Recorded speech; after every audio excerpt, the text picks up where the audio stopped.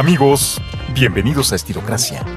Y recuerden que el estilo no es algo con lo que se nace, sino algo que se aprende con el tiempo y en el camino.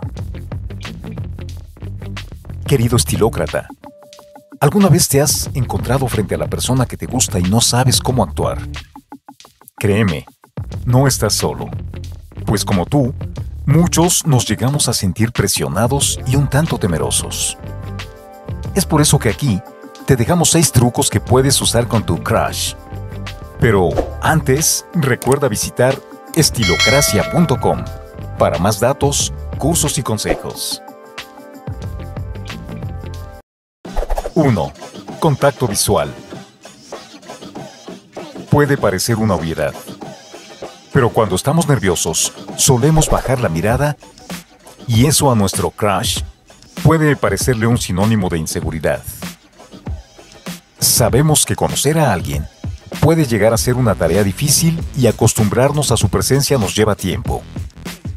Pero confía, entre más pronto ambos se acostumbren a la mirada del otro, todo fluirá mejor. 2. Investiga sus gustos. Con esto no quiero decir que te vuelvas un obseso.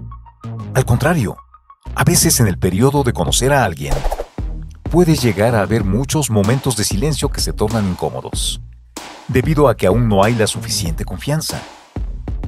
Por ello, si sabes cuáles son algunos de sus intereses, como películas, deportes, libros, etc., te será mucho más sencillo llenar esos momentos. Pero ojo, no conviertas sus hobbies en los tuyos. Por más que te guste la persona, la autenticidad ante todo. 3. Comparte tus gustos.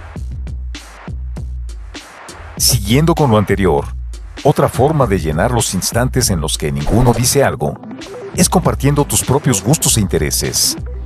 Después de todo, se trata de dos personas que se están conociendo, así que tu crush también querrá saber cosas sobre ti. Háblale de los libros que más te han gustado. Incluso comparte anécdotas algunas travesuras, los viajes que has hecho o a dónde quisieras ir. 4. Escucha con atención. Una vez que los silencios se llenen y las miradas ya no bajen, es primordial que conserves el interés del principio. Pues quizá tu crush pueda llegar a sentir que la atención ya no es la misma.